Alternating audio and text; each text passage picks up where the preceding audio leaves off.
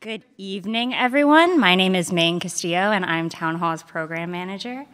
On behalf of the staff at Town Hall Seattle and our friends at Elliott Bay Books, it's my pleasure to welcome you to tonight's presentation of Marcus Harrison Green in conversation with Michele Matassa Flores. As we get underway, I would like to acknowledge our institution stands on the unceded traditional territory of the Coast Salish people, particularly the Duwamish. We thank them for our continued use of the natural resources of their ancestral homeland. Thank you all for joining us in person or tuning in online. Town Hall is proud to be a community focused organization and a place where we can share and sustain ideas and creativity. We're adding new events and podcasts every day. October brings Becoming Abolitionists, author Derecka Purnell, with Nikita Oliver and Darnell Moore. The first concert in our in person Global Rhythm series with musical guest Quetzal. Visit our website to join our email list and get the latest updates as more programs are added throughout the season. If you share in Town Hall's vision for a robust community engaged in the arts, science, and culture where everyone has a voice, please consider supporting us tonight by donating or becoming a member. Visit our website for more info. But back to this evening's event. Tonight's presentation will be about 60 minutes, including Q&A. To streamline our audience experience, we've changed the Q&A platform for our events. To submit your question, please use your phone or computer to enter app.meet.ps forward slash mhgreen. We'll drop this link in the chat, and when we get to the Q&A portion, we'll remind folks again where to go. We can't guarantee we'll get to every question, but we'll try to get to as many as possible. Please keep your questions concise and in the form of a question. For those who would like to view the program with closed captions, click the CC button in the bottom right corner of the video player. The program will be available for rewatching immediately following the event. Town Hall's work is made possible through your support and the support of our sponsors. Our Arts and Culture series is supported by 4Culture, Arts Fund, the Office, Seattle Office of Arts and Culture, the Nesholm Family Foundation, and Wyncote Foundation Northwest. Finally, Town Hall is a member support organization, so I'd like to thank all of our members watching tonight and at home.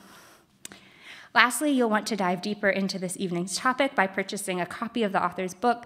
Please use the link in the chat below to order through Elliott Bay Books or visit our bookseller table here at Town Hall to pick up a copy of the book. Here tonight to introduce Marcus and Michele is Sharon Nyree Williams. Sharon is a storyteller and a community builder.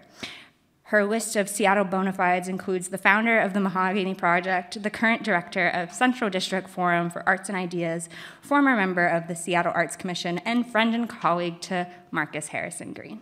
Please welcome Sharon Nyree Williams.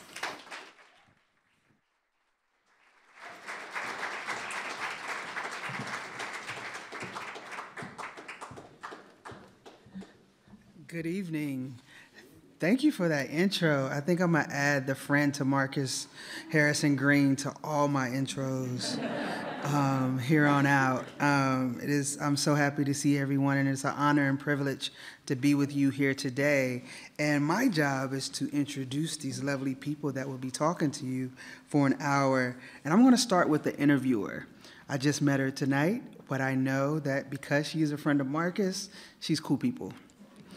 Um, Michele Matassa Flores became executive editor for the Seattle Times in 2019. In, tw- in 26 years with the Seattle Times, Matassa Flores worked in or has supervised nearly every department in the newsroom. She's a bad woman, no doubt. Uh, first hired by the Seattle Times in 1988, she served as a reporter, deputy business editor, co Metro editor, deputy investigations editor, features editor, assistant managing editor for sports, and features and deputy managing editor. She is an editor. Real editor. Do not get it twisted. Um, she left the company in 2008, taking on leadership roles with the Seattle News website Crosscut and the Puget Sound Business Journal. Then she returned to the Times in 2013 and served as managing editor for, from 2016 to her appointment as executive editor. Flores describes herself journalism junkie, proud mom, and West Seattleite. Oh, and a loyal Oregon duck. She, eh, she put it here, I didn't say it. Um, that's what they told me to say. You deal with her with that, okay? Um, now, my friend Marcus Harrison Green. Uh, oh, y'all can get louder than that.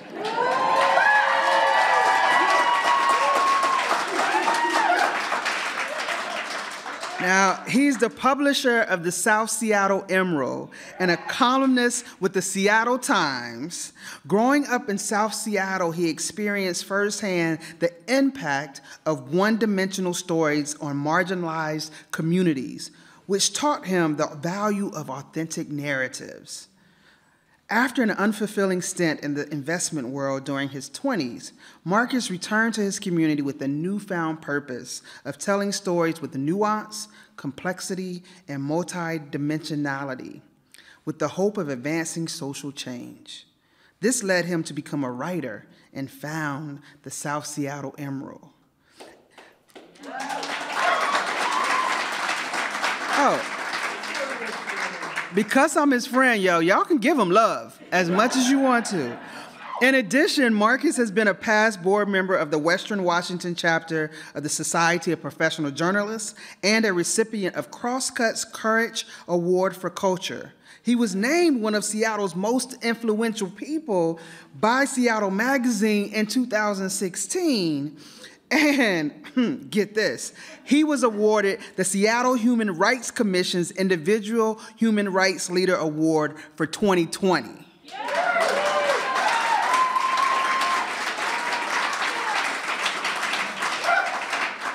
If it wasn't COVID, I would grab the mic and drop it.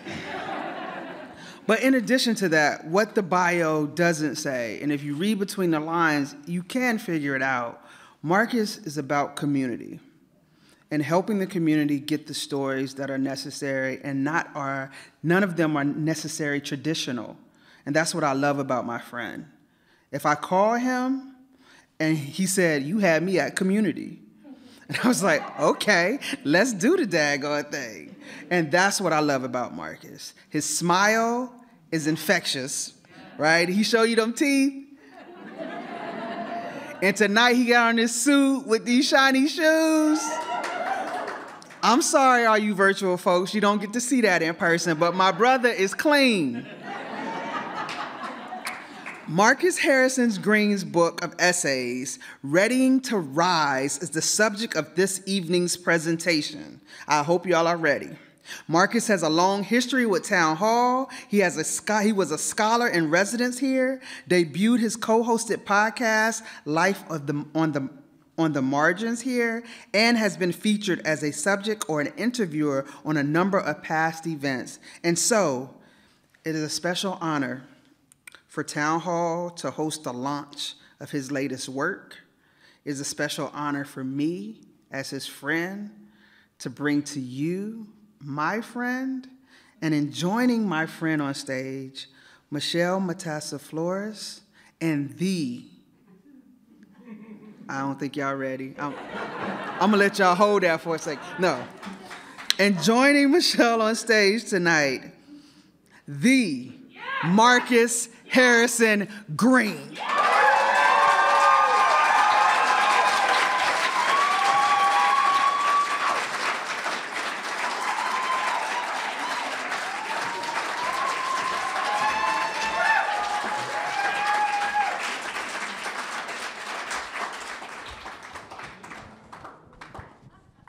Man, Sharon, thank you for that that intro. You you, I, you damn near had me running because I I do not know if I can live up to all that. So thank you. Uh, and I just want to say, I was standing back there wondering, why in the heck am I interviewing you? Why didn't you ask Sharon to do this? she's she's got personality to spare for all of us.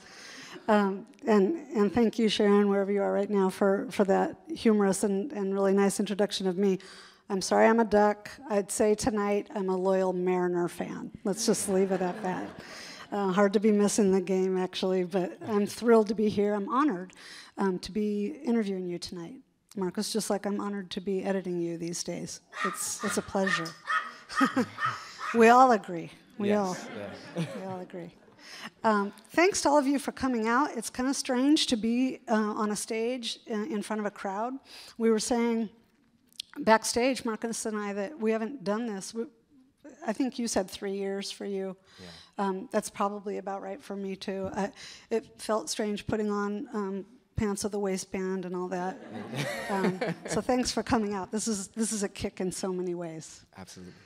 Uh, so our plan tonight is to talk um, in front of you, basically, to carry on a conversation, which um, hopefully will be very engaging for you and for us, um, for maybe 40 or 45 minutes, and then open it up to questions, which I think you've you've um, had that explained to you how that works. Um, in, the course of this conversation, Marcus will do a little bit of um, reading of some passages from his book. I would like to just warn everybody that there will be a little bit of um, profanity in that tonight, and we'll also be seem okay with that. um, we'll also be discussing some pretty tough subjects, um, as as those who follow Marcus's writing already know. Um, things will get real. We'll talk about mental illness and, and even suicide, and I, I feel like uh, you should know that ahead of time. Um, so, Marcus, this book includes, uh, I, I, counted 30 essays, Yeah. um, published over uh, about eight years. They've run in at least five publications um, that, that I could think of Seattle Weekly, South Seattle Emerald, of course, Crosscut, The Times, Bitterroot Magazine, um, and maybe some others. Uh, and, and also, the, the book includes some speeches you've, you've given. Um, the, the themes, just to kind of recap for those who haven't um, read the collection of essays yet, um, they cover some, some very topical and very heavy themes. Um, coming of age and, and evolution is one, mental health, which I already mentioned, um, race and social justice and civil rights movements in all their forms, uh, policing, family, including your grandparents and your parents, um, cynicism and the fear of it, which we'll get into, uh, going back to normal and how that would be a really bad move for many people in this society, and being black in America, which is related to all of that. Um, So very light topics today. Yes, Sugary. we're, we're going to keep it light. Yes. um, so, my first question for you is given all that publishing you've done, the speeches you've made, um, it's very clear that you are determined to have your voice be heard. And so I want to talk a little bit about that and ask you where that comes from and what, it keep, what keeps it going and what you're aiming to do with that. Yeah, um, it's a good question. I mean, it comes from a variety of places, but if I if I had to say with the overriding place, uh, I think it's my grandfather, um, uh, Lenny Hinton. Uh, so I never met him before, and all I ever had was memories that my mom would tell me about him. Uh, she only the last time she saw him, she was 10 years old. So this is uh, you know nearly you know 66 years ago at this point. Um, and my grandmother, you know, never shared too much about him, but what I did know was that he was a writer who lived in Chicago, and he wanted to write and, and be a columnist for the paper there. I, I think at the Tribune at, at that time. Uh, it might have been another one. Um, and he spent his life's work. It was about five years of his life writing uh, a book about the Great Wall of China.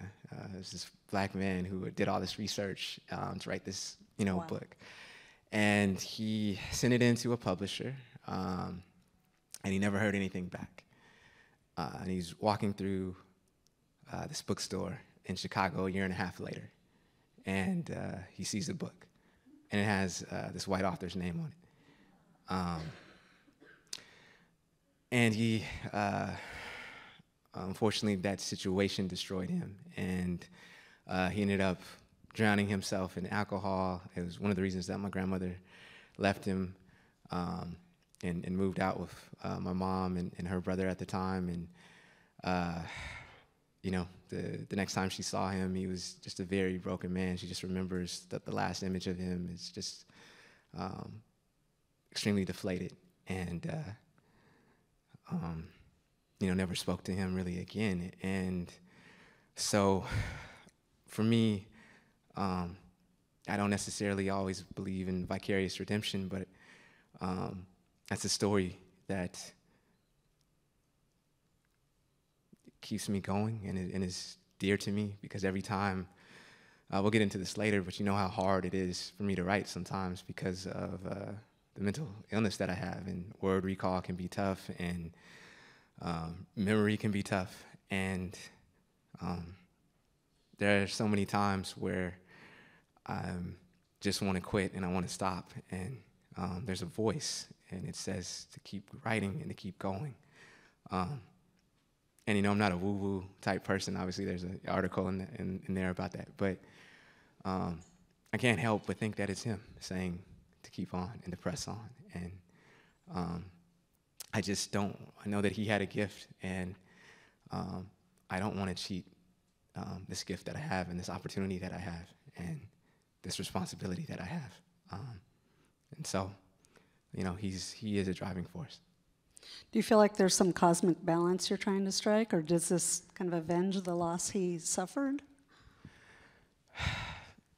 Somewhat, right? I, I think it's also a learning from the past. Um, it's seeing the the pain and trauma that can endure um, when, um, and justifiably, you know, so he was in a really bad situation. He himself also had bipolar disorder. My, my family believes. And so, in many ways, uh, I wanted to try to adopt a, a posture that was different um, from him in, in, his life. It, like sort of use it as a not only a cautionary tale but an inspiration.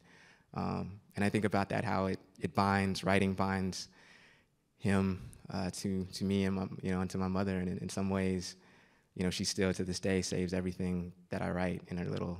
Um, uh, in her little gift box, and That's so awesome. Yeah.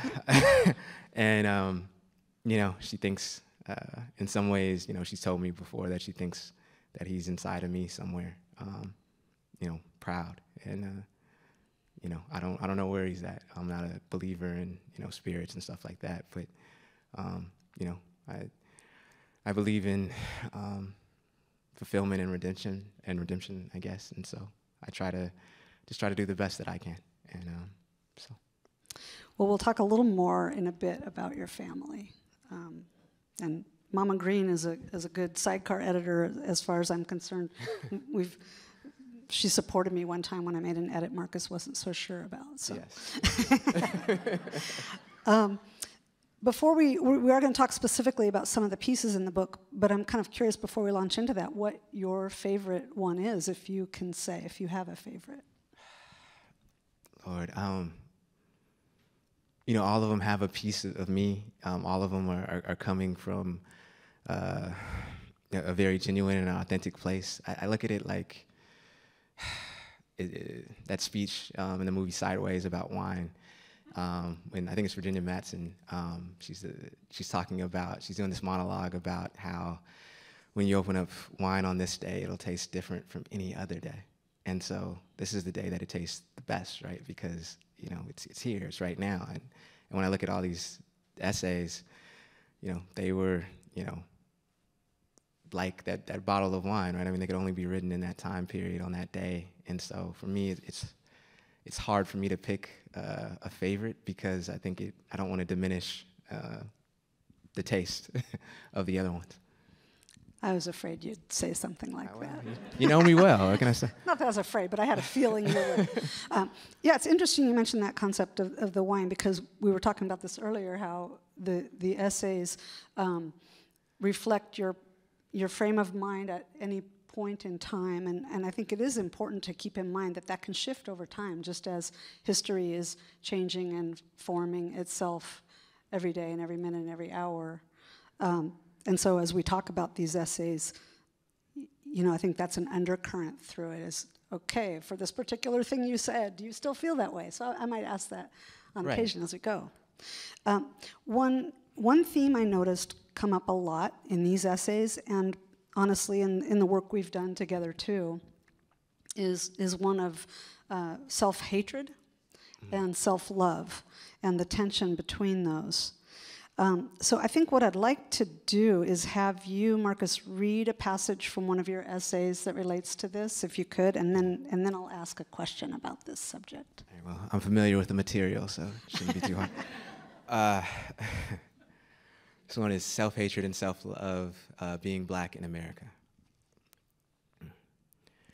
In first grade, I remember being told it was okay that I was stupid because God didn't intend to make people like me as smart as my other classmates, all of them white.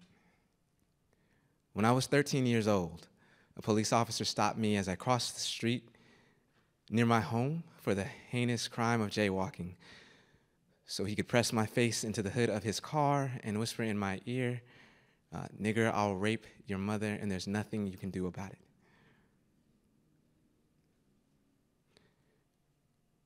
While in prep school, I was the only one to ever face punishment after fights with my white schoolmates. I never started these fights, but for the record, I did win most of them. Uh, when I made a six figure salary working at a hedge fund in Los Angeles, I was told I was one of the decent ones. Marcus, my manager, joked, Don't ever think we'll try to bring more of you in here. We don't want to be confused with Harlem. For me, it was easier to live in denial. I latched on to the grand American gospel that says every ill you face can be traced back to personal responsibility. I told myself that if I acted more politely, didn't have a chip on my shoulder, and adapted well to different circumstances, I'd be fine. I felt the need to act more passive and less threatening. I repeated this mantra so often that it became my truth. And that imprisoned me. It shackled me with self hatred, and I began to extend those feelings toward my own race. Okay, thank you for reading that. I, I feel obligated to just sit here with it for a minute, and, and that's a lot to, to absorb. Um,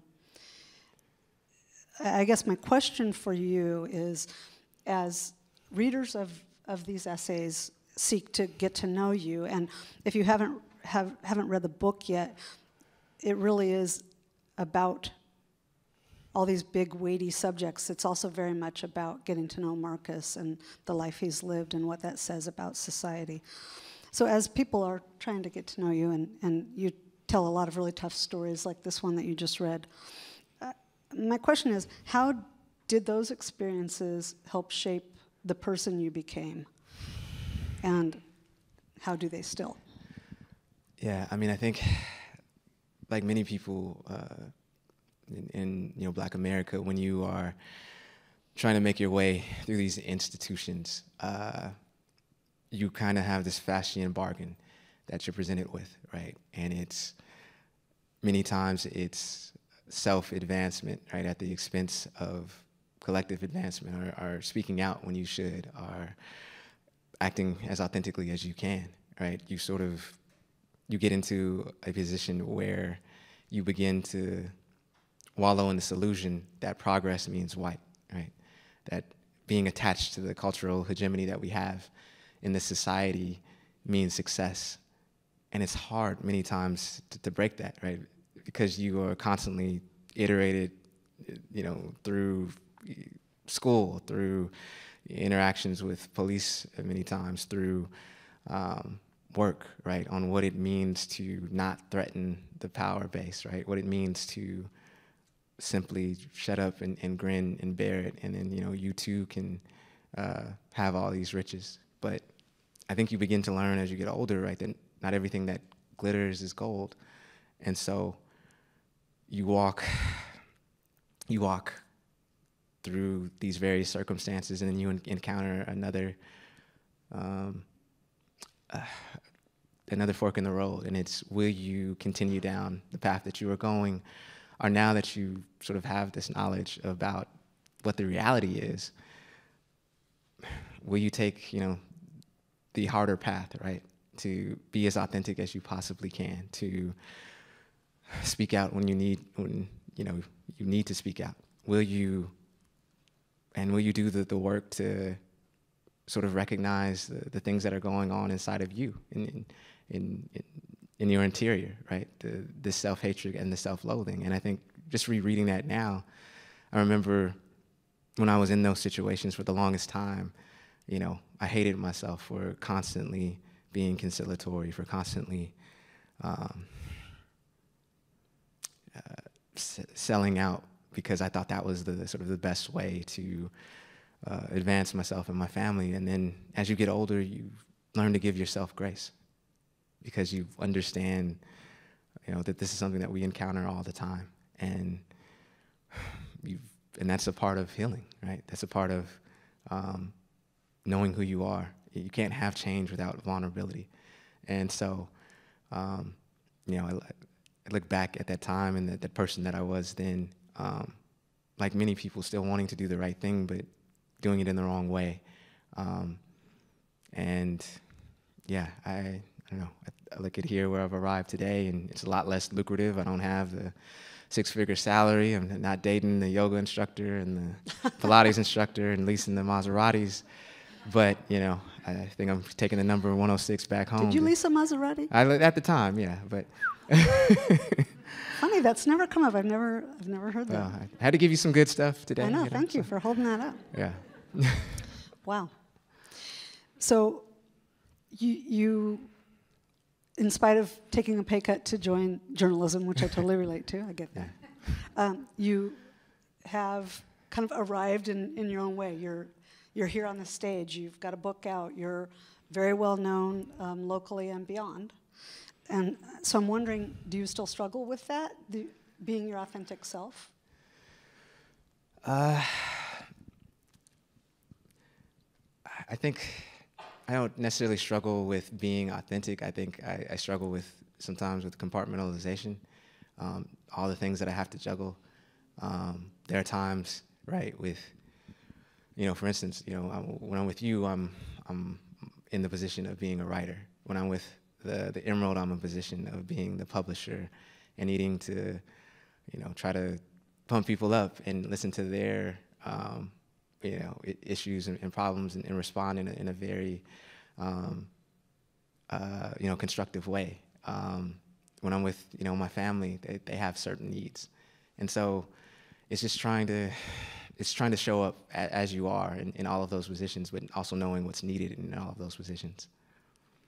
I guess I was thinking more specifically in the way of assimilating into a white dominant. Oh no, no, yeah, I have no problem with that. it's, I, I think I go back to, uh, I think I've told you the story once. Uh, you know, I, am a sucker for history because I'm a father, and there's uh, during the Justinian period um, of the Byzantine Empire, there's King Justinian who, you know, is mediocre white dude who got all the credit, and it's really it was Theodora, his queen, that was doing everything. So, so not much has changed in 600 years. But uh, you know, there's these literally barbarians at the gate, and she's, uh, you know, Justinian wants to run and hide and throw down his crown, and you know, sneak out, and she's like, "Where are you going?" And he's like, I'm, I'm not staying here. And she's like, I don't care what happens if they breach these walls. I, whether I live or I die, I'm going to do it as I am.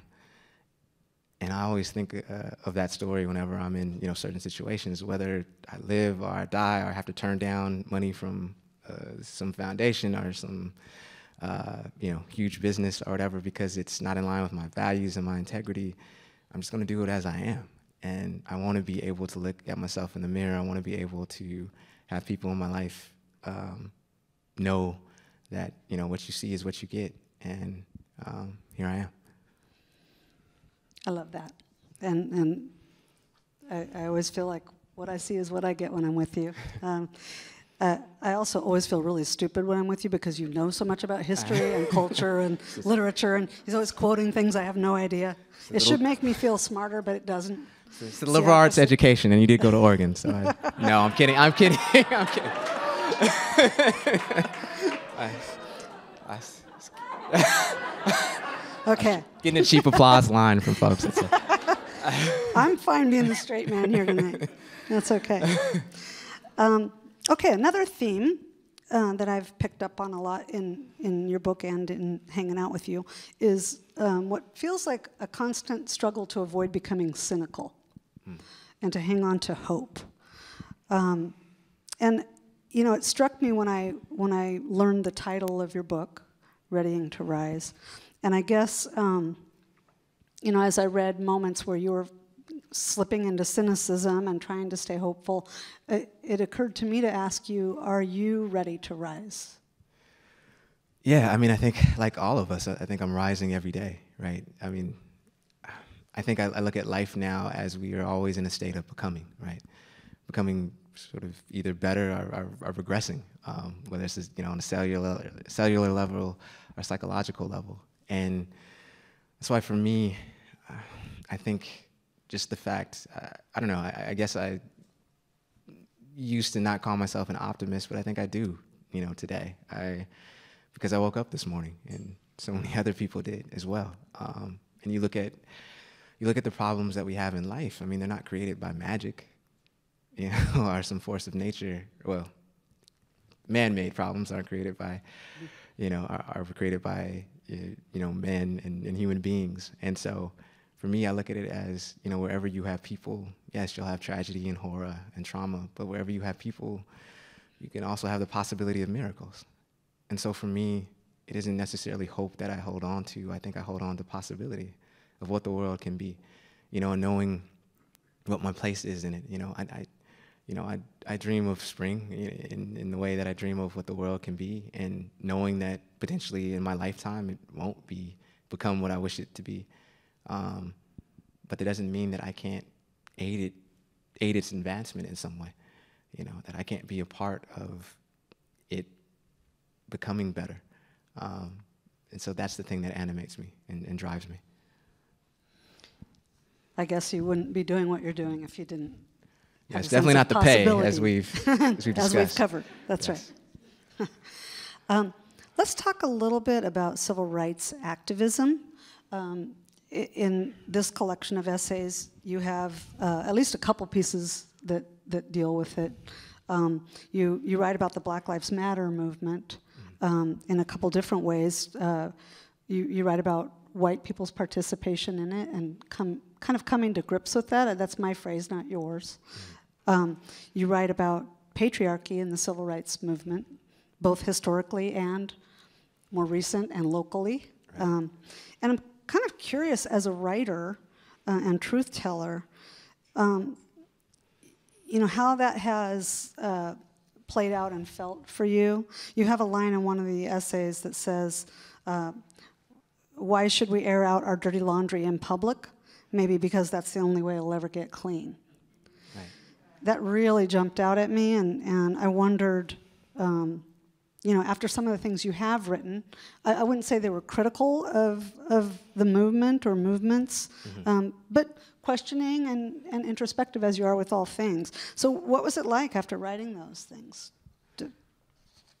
What'd you get back? Uh, yeah, I mean, you get back various, you know, feedback. There's some people who don't like to ever be called out for anything. There are other people who who do. I mean, I just think whenever you're in the midst of change, a, a revolution, or what have you, um, you have to. There has to be somebody there who can talk about how that change, you know, is made and what's going on. I mean, you look at hell, you look at the French Revolution, right? I mean, it took them from when they, you know, first cut off the royals' heads to when they got a constitution. It's 90 something years, right? And and that was because you had people, you know, not necessarily questioning what was going on or not being so. Uh, a friend of mine, Mychal Denzel Smith, says we get so caught up sometimes with the boot that's on our neck that we forget to look down and see that our boot is on somebody else's neck. Mm. And I think that's that's when I usually am, am writing uh, about social movements. That's the thing that I'm writing about um, because there is, even with our civil rights movement, there was a, a, history of erasure of women and, and queer folk. You have somebody like um, Anna Arnold. Um, Hedgeman, who was instrumental in getting the white clergy to be at the March on Washington, and yet she wasn't allowed to be in the front. She wasn't allowed to speak. You know, she was barely, you know, recognized. And yet, without her, right, you don't have all those people there. You have somebody like Bayard uh, Rustin, who, because he was gay, um, you know, is oh, essentially washed out of civil rights history. And yet, he was so instrumental in, you know, not the not, you know, Martin Luther King's nonviolence in terms of his stance and so forth. Uh, you know, everybody talks about Gandhi, which is true. But you know, Rustin was also so instrumental in the formation of King, and yet we erase him for history. And so for us, it's to me, it's why not show the truth of everything, right? I mean, because this is going to take solidarity with all of us, and so we can't put, you know, we can't put these people on the sideline who have done so much work and continue to do so much work. So this is one of those topics where I think um, thoughts can shift as history changes, right? And I'm curious, uh, after the past year and a half we've been through, and 2020 especially with all of the, the protests following George Floyd's murder, uh, what, what's on your mind now about Black Lives Matter and civil rights movements locally and, and beyond? Yeah, I mean, I think in some ways, uh, disappointment from how it, was very hopeful, like many people, that there would be sort of, when we talked about this racial reckoning, that it would be time for some level of extreme, you know, systemic change. And, and while I, I think we have had um, changes, I, I, think nationally they've continued to sort of be around the margins. Um, you know, I, the recent poll that I that I saw showed that you know support for Black Lives amongst white folks dropped to what they were essentially pre George Floyd levels. Um, and I don't know. It's I think my therapist said like no one's ever gone broke. Uh, um, betting on you know white supremacy re- returning in um, you know America, and so uh, I think that's where I, have sort of an air of disappointment. You just wish that there would be more sustained change and, and, and more consistent change, and there would be more consistent reflection. That it shouldn't take a pandemic and a grotesque, you know, video of a man being killed uh, for people to to wake up and, and stay awake. Do you think that, like, what's going to come next? I guess is my question. Not that you have all the answers. I don't know. I mean, I know that there will be sustained but uh, there will be you know sustained activism. There will be sustained writing around things. I I guess I don't do this thing. You know, I don't I don't write and, and because I believe that tomorrow things are going to change. I write because it, words need to be said and words need to be written, and and actions need to be taken, and, and whether they are or not. It's like T.S. Eliot said, right? The trying is all we have, and the rest is not our business. And so I just make it my business to try.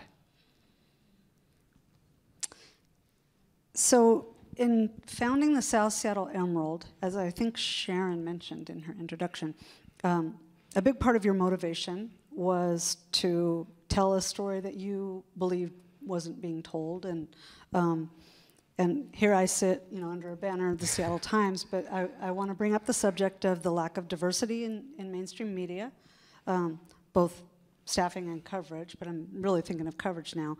Mm-hmm. And I guess my question is more of an invitation to you to let us have it. um, I know you have thoughts about this subject. Uh, I, I, do, and I, I, know we've had conversations about this in yes. the past. Um, no, I mean, I think for me and, and, what I'm sort of focused on now is really just the pipeline and, and how we get more folks of color involved with journalism. I was talking to somebody the other day, and she said, "Look, she's not going to go into debt for seventy thousand dollars or, or however much, you know, to go to a four-year college and then come out, and maybe there's a job for her, and maybe if there is one, it pays thirty-five thousand dollars." And so, you know, for for me, and I know we've had this discussion. You know, how do we find a way that we can get more folks involved where it, it isn't cost prohibitive and that we can, you know, come go there and be there for folks who are, you know, in BIPOC communities. You know, what do we set up? Is that trade school? Is that working with some of the community colleges? Is that um, certificate accreditation? Um, I don't know, but I know what it, we have now isn't working. Um, it's there's a reason why there's you know an overrepresentation of white males in this industry, um, and there's a reason why many people say you know we I can't do this work unless I happen to be married to an image, uh, engineer at Amazon or whatever. Um, so what is that going to, how, how is that going to leave our media ecosystem, right? If most of the people then who can afford to actually do media are affluent or belong to a very rich, affluent class, then what kind of journalism is being done? So, yeah. There's a passage in one of your essays that I'll read. It's a short one. Um, you say, because our media in its everyday coverage, just like our society, is dominated by a narrative that centers whiteness. The experiences of the dominant, read white, group in our society are taken to be universal, empirical reality, and a baseline for how others are to be perceived and evaluated, even as it masquerades as objectivity. What, um, I'm, I'm trying to formulate the question here, but I'm curious what we need to be doing better in mainstream media um, that would bring the stories to light out of communities of color, underrepresented communities, those you set out to cover with the South Seattle Emerald. I mean, I don't want to give you the Emerald secret sauce, but I'll. Uh, Are you sure? No, I. I think, and I'm just going off of what you know people will tell us when we're um, when I'm, you know, sifting out the, the, the, hate emails we, we get from one individual in particular. but um, but no, I I think most people say this is journalism that I can see myself in, that is reflective of the world that I live in. Right, this is reflective of this place. I, I feel that this is journalism that's lived in, and it isn't somebody just parachuting in, or it isn't somebody who spends most of their time in an office building and haven't walked the same streets that I've walked. And it's not, this was before your tenure at the Times. Um, and I remember writing a piece uh, about um, Mary Flower, uh, Mary, uh, uh, this man, Michael Flowers, who was killed. His mother was Mary Flowers, and she had asked me to write a piece about something that had appeared uh, in the Times. And I remember saying um, in the piece that she didn't want him to be treated as a saint. He had died a, in a home invasion uh, when somebody uh, invaded into the, the, place that he was at. And I said he didn't, not asking that he be treated like a saint, not at all, because no one is, but it just asked that he be treated like a human with the contours of humanity. Um, and so, I mean, I think that's the thing that we can all do better at. You know, I'm certainly not going to say that my organization is perfect. It isn't. It's just trying to just try to collapse the distance between where we are and you know what where we want to be. Mm-hmm. Very fair and very excellent point. Okay, because that was such a light subject, and all these others have been. Let's talk a little bit about mental health. Yeah. Um, generally, and specifically your mental health. Yeah. Um, you wrote a column after Naomi Osaka um, bout out of the tennis tournament. Gosh, was it the U.S. Open?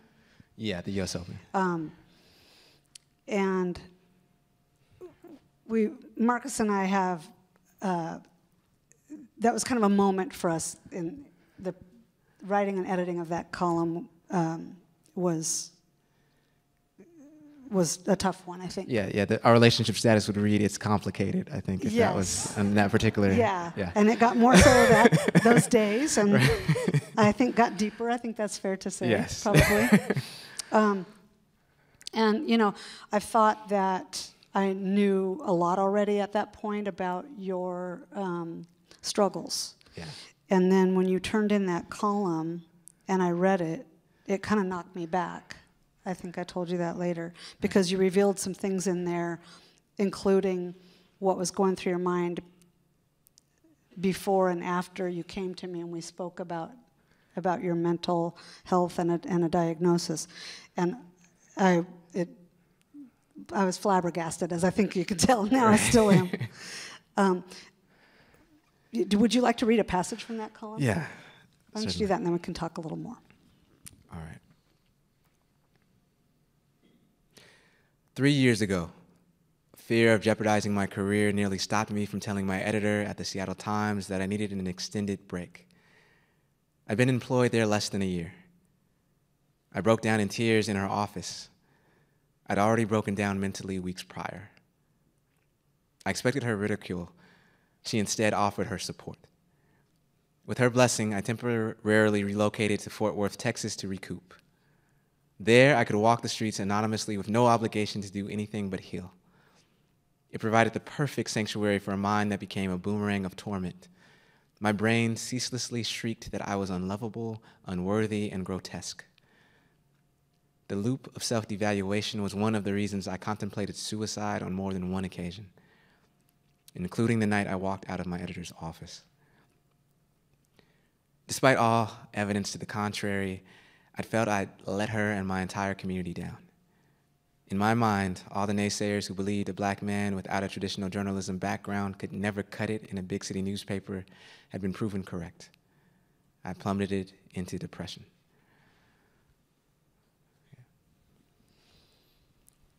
So there's uh, a lot in there that strikes me still and struck me when I first read it um, because simply because I thought I knew a lot and I realized how much I still didn't know about what you were wrestling with. Yeah. I didn't know, for instance, that you were thinking about suicide the very night you left my office. Um, I didn't know, and I felt in hindsight incredibly stupid and naive for not thinking about the fact that you would worry that I and we in the newsroom and your broader readership would think, well, there's a black man who can't cut it. I mean, that cut deep when I read that, and then I felt like a complete idiot for the fact that it did strike me so, so raw, because that's just my own privilege, I guess, to not realize that would be a thing. Um, can you talk a little bit about what you've been dealing with, you know, after being, well, before and since being diagnosed with bipolar disorder, how you make that, how you get your work done um, in spite of that, and just how universal struggles of the of mental health are. And uh, you know, when when you first came to me, uh, one of the first things I think I told you was that I've had this in my own family. Um, you know, multiple people in my family, some quite close to me. And I think as I've talked to people about that, long before knowing you, it, you just start to realize how many people are dealing with this. Yeah. Um, it, you, there's no six degrees of separation. It is right there for everybody. Yeah. No, I mean, it's. I tell people this all the time. I, I don't try to romanticize mental illness. You know, if I was, you know, if, I was at the, I guess, the selection tray of, uh, you know, when, when, fully being formed and somebody was like, uh, you can be incredibly handsome and then also get, you know, have bipolar disorder at the side of it, I, I would just have chose incredibly handsome. I would not have chose the bipolar disorder. But, um, no, but it's it's not easy to live with. It sucks, um, and that's why I think I, I, ran away from it and the, the, diagnosis for so long, for so many years. Um, I had been diagnosed um, earlier than when I accepted accepted it. Um, people, I, I, just didn't want to. It was that fear uh, again of how people would accept you, and knowing that this was something that I'd have for the rest of my life knowing that I'd have to take medication that um, didn't always necessarily interact well with my kidneys, knowing that I would have to, to change, couldn't be that hard driving person all the time, um, and knowing that I'd have to depend on other people and trust other people. Um, I just the, the backstory of actually writing this uh, uh, this piece and how it actually came about. It wasn't supposed to. Um, this wasn't my initial idea to write about, It, as you know. Um, it was, I think I was doing a piece on transformative justice, and it was just not coming together. And I'm at, uh, uh, I think I was on vacation for my birthday, and I'm at this like oh, right. seedy hotel in Berkeley, um, only because that's what I could afford for no other reason. and um, I'm on the phone with you, and I'm like, you know, Mitch, what do you know, what, what do I do essentially? And I'm gonna, and I think he said, look, we'll just you know, we, will just um, we just won't, you know, publish something. And I was like, no, here I am. I'm letting her down again. Um, I, you know, I'm. It's you know, I'm. Yeah, it was one of those moments when you just come face to face, right, with um, who you actually are and, and, and what's going on with you in terms of your mental health. And um, I remember working through the night. Uh, I think I was up until oh. six in the morning, yeah. to hand this into you, and I was you had already spent so much work on the um, the previous piece that again I didn't want to, to disappoint you. And I remember the next morning you were editing it, and I was crying on the phone hysterically. Um, I just lost sort of my bearings, and uh, um, I can't tell you enough how much you need support with with mental illness. Right? I don't know if I did if I didn't have an editor like you, how much I would have been able to, you know, continue to, to want to write all these times that I've given up. And I, I think with you, you always say, you know, just give me your best this day, and whatever your best is. If it's we can't run anything because you're in a state, then okay. If it's, you know, what you were able to to, um, to craft, then okay. Um, but for me, it you know, coming out to, to you, coming out to my family, with uh, coming out to my friends, that was just one of the hardest things, and it continues to sometimes be hard um, because I wonder if people will, if that's what they see when they when they see me. Um, it's hard many times to be uh, on dates with folks and everything's going great, and then you tell them, and then you don't get a phone call back, um, and you you're just kind of searching through life, wanting to be affirmed, and you know, affirmed for all you are. And I think having uh, mental illness has showed me the importance of having a loving community who accepts you for all your faults um, and all you are. And it's not easy to cultivate that many times, but it's very necessary. Well, it would have been really great of me to just say, I don't care if you're crying, just get that column done. you know, I mean, I, I do remember thinking, I, it wasn't even a conscious thought, really, but just I, the I wasn't even aware anymore that we had a column to work on, right? Right, and and that's being just a friend and a human being and a mother and a daughter and every a wife, you know, everything uh, about being a human being. It's you hear that over the phone and it's you just go into how can I help you? yeah. Uh, but I I wonder you know, you've been brave in writing about that. We talked about being your authentic self. I mean, you're so brave writing about this subject and how personally you do that. You're here talking about it tonight, telling that story. Um, I'm, I'm imagining uh, that you must get a lot of response to that, and, and I would hope that would be gratifying. Is that true? Yeah, I mean, there, and I think with that particular column, I think that was the most. Um, email, uh, positive email, I'll say, that I, that I received. Um, I've certainly received my fair share of negative email, but that in particular, I, I don't think I received one, at least not directly. Um, and it was just people saying, yeah, yeah, I deal with this too.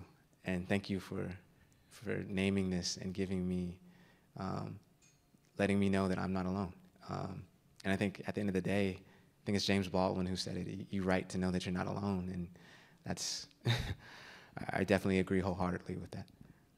Well, and hopefully by writing about it, uh, you can help destigmatize um, mental illness, mental health struggles that people have. Yeah. I commend you for that. Let's, well, I started to say let's lighten it up a little bit, but this, this won't exactly lighten things up. Yeah, I, I don't sorry. do light. I just, no, I, I, yeah, that's kind of the thing. Um, but I want to talk about family your family.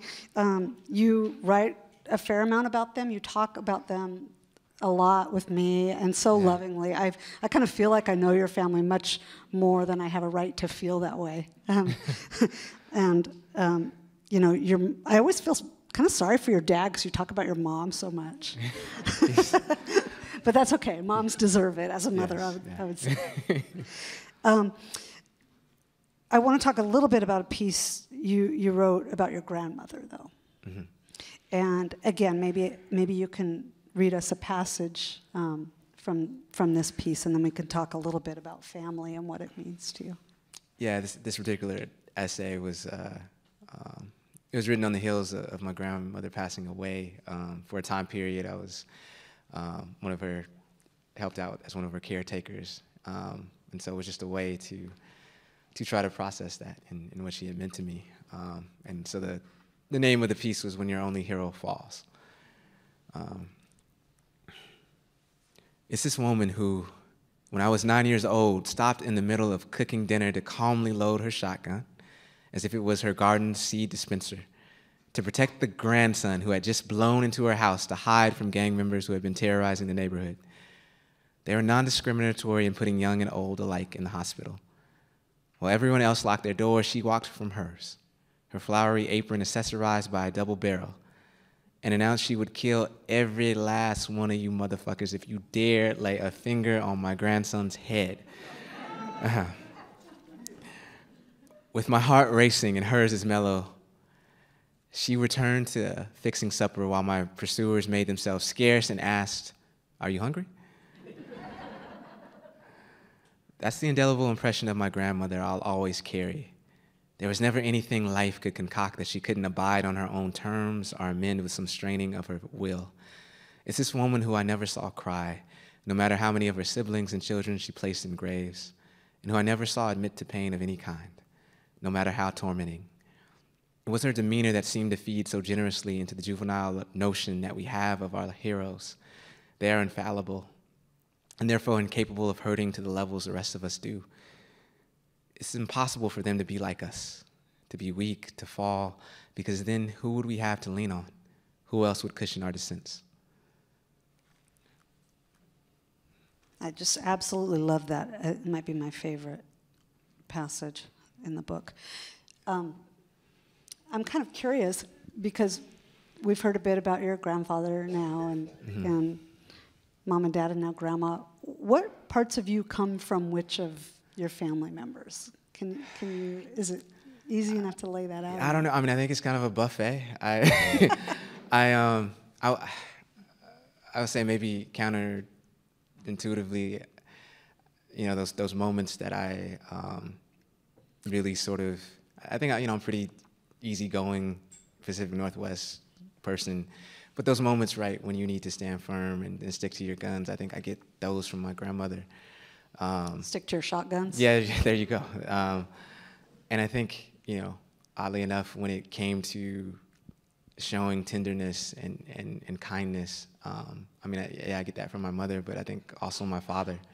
You know, he showed me what it meant to continue to evolve as somebody who was, uh, you know, he's a military man, um, yet as, as a person who had to accept so much in, in his life from you know, his son with the bipolar diagnosis to um, so many other things with his own siblings in, in terms of um, having to question what it meant to, you know, be uh, quote unquote a man.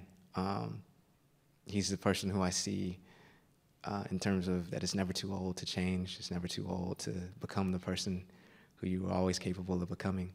Um, and so I get that notion from him, I'd say. When you left your job in finance to become a writer, journalist, start the Emerald, you moved back in with them, right? I did, yeah. And I was at 30 something in my mother and father's basement. Okay. Legitimately, yeah. Was How not getting a lot of dates then either. Um, but, yeah. What was that like? How long did it go on? And because you're not still living with them. No, no, no, no. Yeah. I've I've moved on up a bit. It's in a basement, but it's somebody else's that I pay for. So. and who had grandma's shotgun at the time? No. That's what I wonder. my, my dad still has that. yeah. Okay. Anyway.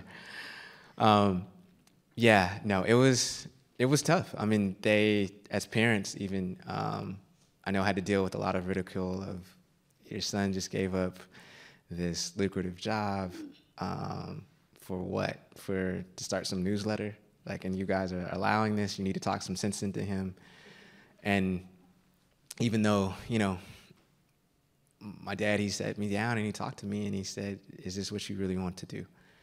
And and and tell me, like, tell me that it is, and, and tell me that there is no going back. Because um, if you are willing, because he said the difference, there's a difference between sacrifice and uh, commitment, you know. And commitment is, you know, I'm gonna try my best, and if it doesn't work out, then hey, whatever and sacrifice is, Nah, you're just gonna have to kill me, mother effer. I'm not, you know, I'm not gonna let this go. And mm-hmm. he said, if this is a sacrifice you're willing to make, then we're willing to make the sacrifice too.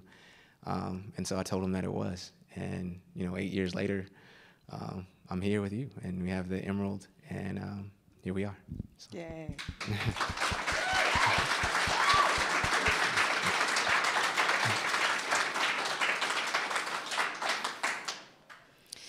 okay, so let's let's talk about one more um, little topic here, and then we can move into audience questions. And that is um, the the notion of a call to action. Mm-hmm. Uh, you frequently in your writings you do call on people to do things, and they're often small things or they're internal things. You know, you call on people to think about who they are and how they behave and act Yeah. and treat people, m- most importantly. Um, and so, you know, if you're not calling on people to do big, sweeping activism, you do call on them quite a bit. Readying to Rise is obviously, you know, all about that, the title of this book.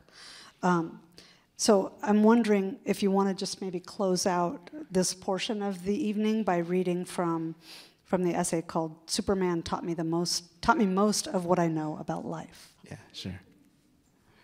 Um, my mom will tell you that I should have went with Wonder Woman, but I was, you know, it's 2013 when I wrote I this knew essay. I so loved I her. just, uh, as admirable as these acts are, I have no delusions that they alone are enough to alter the course of our world. No one action, no one person can. What they function as, just like any act that encroaches upon all the darkness that surrounds us, is sparks. A reminder that this world, no matter how dim it may seem to us, contains illuminating possibilities. These acts that we pursue as individuals, when taken together, feed the flame that dares to oppose all that is evil around us. It is at this point when we discover that we actually share a great deal with the fictional Superman. Like him, we sense that we live in a place that is so desperately in need of saving. And like him, we encounter a decision of great importance.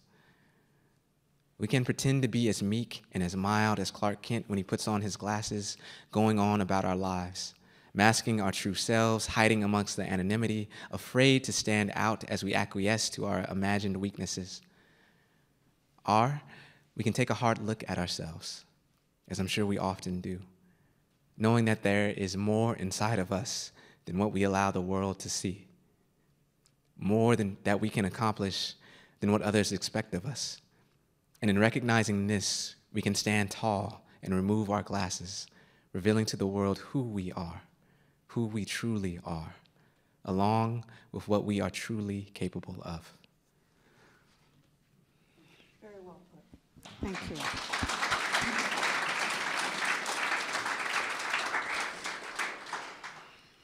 Okay, I have the magic iPad with questions coming in from the audience, both uh, here and virtually, I believe.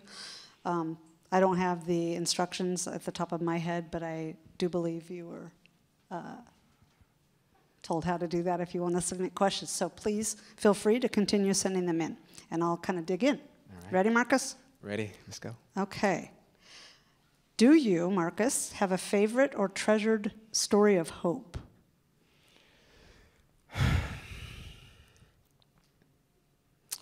Yeah, I'm, I'm trying to whittle it down, I guess. Um, it- it's just top of mind because I recently um, was emailed with her, but uh, there's a, a kinship caregiver who I wrote about, and kinship caregivers are grandmothers who are raising their biological grandchildren because, uh, for whatever reason, the biological parent is not in the picture. Um, and Ali Reeves was, I believe, 76 years old, and uh, took on the duties of raising her um, 12 and 8 year old grandchildren. And um, remember her just, when I was interviewing her, she was talking about how sometimes it is just so hard at that age, and especially with COVID, especially with um, being so uh, just it, isolated, um, you know, and, and in quarantine with her children, with her, that's what she calls them, her grandchildren. Um, and that there's many times where she's had to just try to endure every day. Uh, you know, many times where she didn't want to endure every day. And uh, I remember writing about her just as a example of what was going on with kinship caregivers here in Washington State, how they didn't get the same amount of um, support as uh, of folks who are in uh, foster care parents. Um, and lo and behold, there's so many people started to write in with checks for Ali Reeves, and somebody, you know, randomly just gave, you know, five thousand dollars to her so she could uh, pay off her uh, grandson's braces. and there's a person now who you know $200 from their retirement goes to her every single month. Um, it was just to, me an, an example of the things we do and write about matters, and that if you give people opportunity to make a difference, then they they can. Um, now, was that a story that was about uh, you know city hall malfeasance, or uh, you know will that take down you know some um, you know uh, a mayor or what have you? No, but um, but in that in many ways it is that much more important, right? Because it is you know people coming together to to do the right thing. So um, there are days where I grow very cynical, where you see so many other folks doing the wrong thing, and yet here, these are people, many of them wanting to stay anonymous, just to do what is right and to go on about their business. Mm-hmm. I loved that story. It, yeah. it really struck me the same way, and and and the reaction to it was very heartwarming. Have you talked to her recently? Yeah, just via email. She's doing okay. So. Okay. Let's see, what else do we have here? Um, when did you find time to write, and what pushed you to write? We've covered a little bit of that, but there's some a kind of new angle in there in that question. uh, there are very uh, many highly caffeinated days, I'll say. um, I, think the thing about writing for me is that I, I love to do it. I mean, even as hard as it is, so it's not as stressful as it can be sometimes. It's something that I, I, I love to do. I love to go to the, the park and just be with myself and with my notebook and, and just write. Um, remember the, the piece that I wrote about George Floyd, right, right in the aftermath.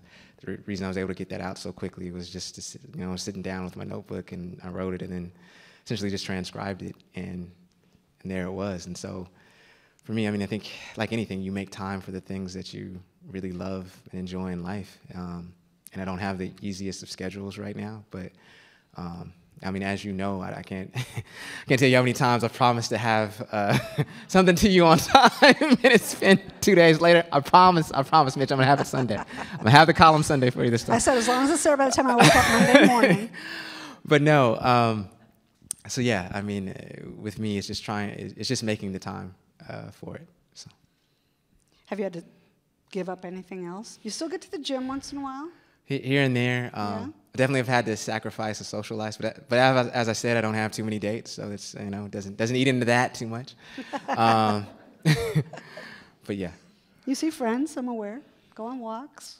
Yeah. Marcus introduced me to my new favorite cocktail, the Brown Derby. I highly recommend it. Yes. I, I don't know if our favorite bartender, uh, Ben Doherty, is here tonight, but he, he said he was coming, so. I don't know. Maybe he's maybe he's at Zigzag. If he is here, I've been looking for one better in town just for fun ever since I had his. He's still the best. There you go. Okay. Um, for as much as mental illness is a burden, have you ever found it to be a gift to your writing or to your view of the world? Yeah, I think sort of the silver lining, if you will, um, has been that it, it has sort of allowed me to be more empathetic. Um, because when you're going through situations where you're dealing with mania or depression, um, yeah, you've never had depths of despair so so deep, but you've also you know never had sort of an experience of, of love and euphoria for yourself and for, for other people um, as well. It, it helps you to, in some ways, it's helping me to see farther and go and, and go deeper in my writing and to also be kinder to myself and to other people. Um, to have a bit of grace, to also look at people and realize, you know, when they're going through whatever they're going through, uh, it's that saying, right? You, you be careful with your judgments of people because you don't know what battles they themselves are fighting. And so I try to lead with that first, right? I, I try to lead with grace. Um, even when, and, and you know this with some of the comments that I'll get on my pieces, uh, I try to look at the person as a human being first and realize, you know what, maybe they're just lashing out because, you know, whatever else is going on in their, their lives. It doesn't mean that I'm going to respond in a, you know, positive way, but I do try to, um, at the very least, um, realize that ultimately, um, you know, we are here for each other as, as human beings, and so, um, you know, I I try to lead with, again, with grace and, and their humanity. I love lead with grace. That's a great phrase. My husband accused me in a bad way tonight of giving people too much benefit of the doubt when we were driving here. It was a bad driving situation. He wasn't giving that person the benefit of the doubt. Um, how do you see racial justice and especially Black Lives Matter and policing reform playing out in the Seattle elections? It's a good one. Yeah, I was, I was hoping to run out the clock to not have to answer that. How much time do we have? No. Uh, I, I mean, I think like anything, um, you know, I think there will definitely be um, that there will definitely be uh, statements uh, around it and, and statements around police reform and so forth. Um, again, I mean, I think it's the Andrew Carnegie line. I've uh, I've, I've gotten old enough to stop listening to what people say and to start looking at what people do. Um, and so, you know, I, I'm ho- hopeful, I guess, in the sense that just because they're one way or the other, there's going to be change at City Hall. Uh, that being said, you know, uh, I don't know if there will be any level of systemic change, but again, I mean, I, I think we maybe put too much emphasis on our elected officials in that way. Ultimately, right, they wake up for us every day. They go to, you know, 4th, 1000 and 4th Avenue for us every single day. And so I'm less, I guess, concerned about what they do and I'm more concerned about what we do.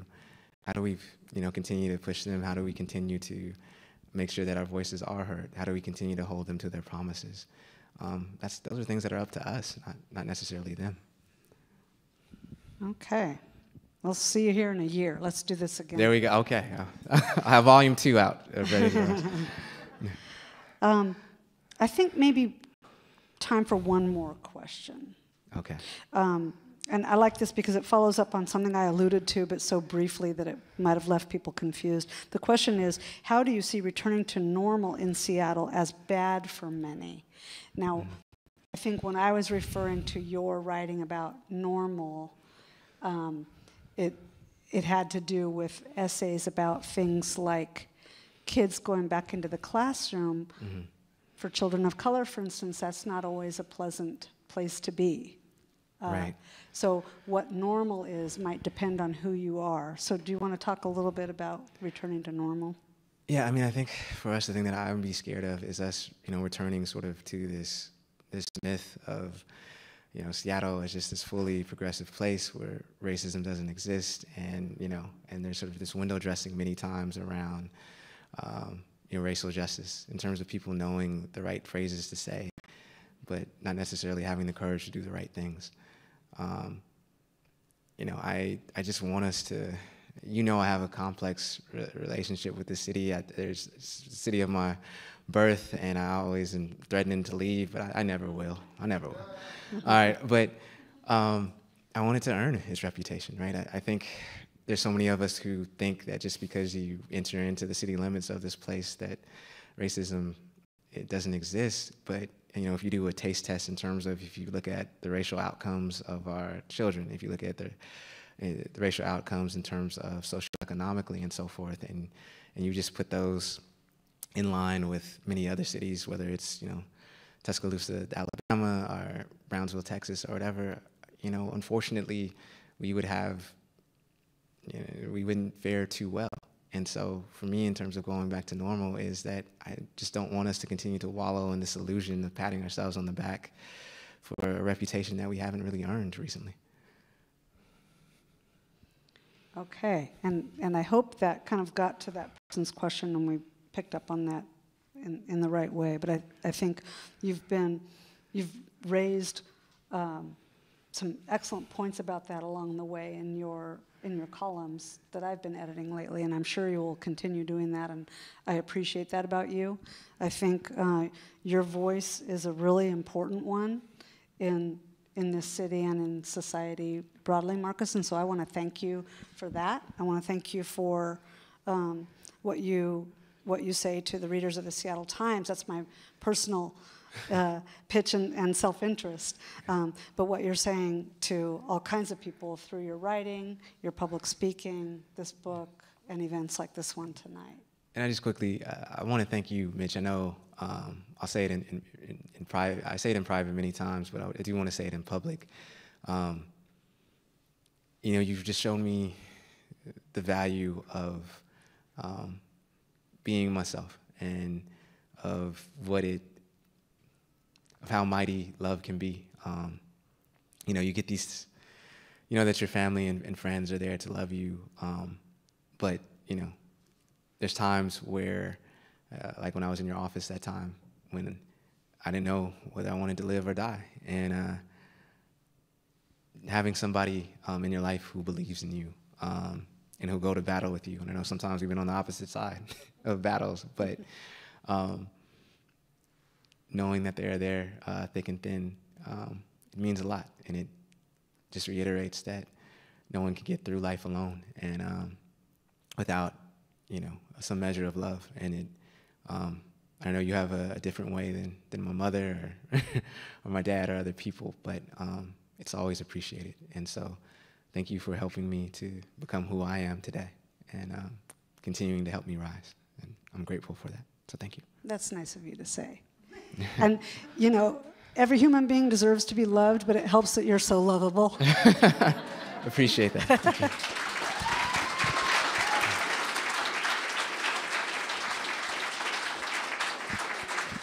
Thank you.